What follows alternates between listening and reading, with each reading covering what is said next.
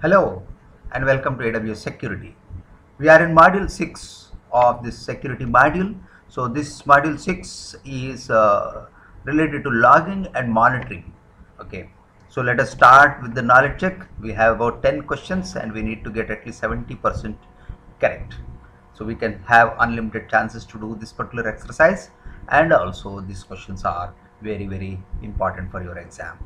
So let us start this knowledge check of module 6. So which statements about logging and log files are true? So log files can be used to demonstrate compliance with or regulations. Let me check. Yeah, correct. The second one. Which statement about AWS monitoring is true? So this should be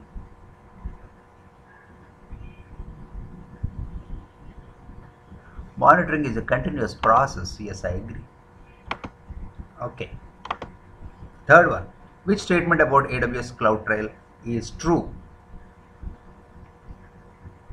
Okay, CloudTrail can be integrated into applications by using the API. Yeah. Fourth one. Which information does not does does AWS CloudTrail not capture? So the time of origin of the request in your local time it doesn't yeah, it captures in UTC.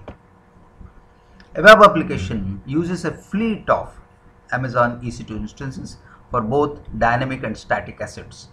The EC2 instances are in private subnet behind a load balancer that is in public subnet inside the VPC. Which service logs would provide the most insight into how users are using the web application? So this is uh, elastic load balancing access logs, absolutely.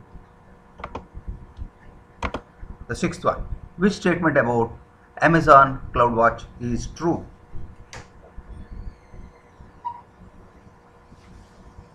CloudWatch can be used to detect anomalous behavior and invoke other services to take further action. Yeah.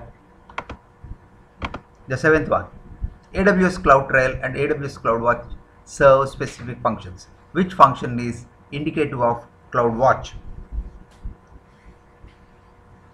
So helps you to determine who performed an unauthorized action. Yeah? No. Okay. The eighth one. What is the first step to use the detective controls that AWS provide? So define your requirements for logs, alerts and metrics.